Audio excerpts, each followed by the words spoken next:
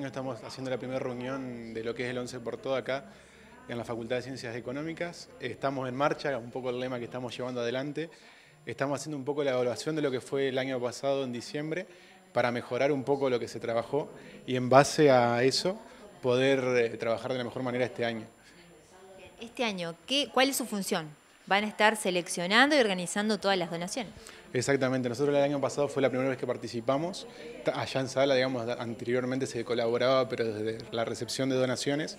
El año pasado tuvimos a cargo lo que fue el ordenamiento de los pañales y este año vamos a estar colaborando tanto con el ordenamiento con los pañales, pero también la organización en sala. ¿Y qué balance hacen del trabajo del año pasado?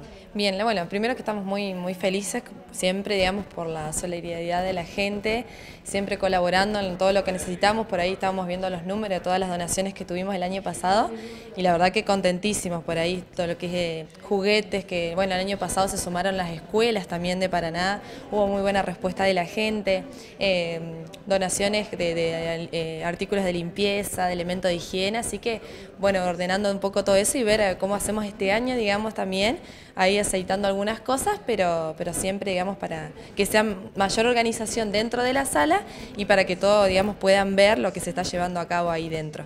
El año pasado estuvieron a cargo de recolectar los pañales. Recordamos que eran muchísimos, aproximadamente cuántos. Sí, eh, no recuerdo bien. Eh, fueron más de 100.000 pañales en total, digamos, se rompió el récord, nunca habíamos llegado a esa cantidad.